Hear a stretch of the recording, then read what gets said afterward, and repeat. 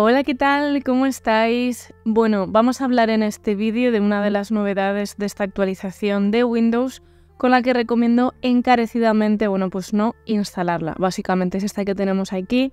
Aquí nos viene un poco, bueno, pues las novedades, que son mm, bastante pocas, pero el problema son los errores que traen consigo que he abierto aquí, pues por ejemplo, del Chapuzas Informático, donde hace un poco el resumen, que básicamente tu ordenador entra en un reinicio continuo.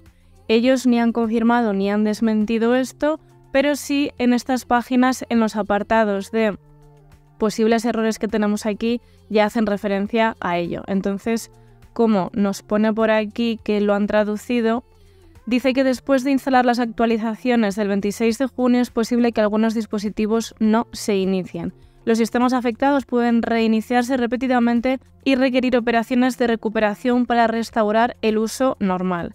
Así que ya sabéis, si la habéis dejado todavía ahí por instalar, como he hecho yo, que ha dado la casualidad que esta semana no he estado en casa, entonces simplemente no la instaléis. Vamos a esperar a la siguiente, la vamos a dejar ahí, porque ya os digo que las novedades que trae son ínfimas y no nos merece la pena arriesgarnos a entrar en ese bucle infinito de, de reinicios. Así que nada, como siempre, cualquier mensaje lo dejaré en la descripción e investigaré un poco sobre el tema para ver, bueno, pues cuál puede ser la manera de solucionarlo.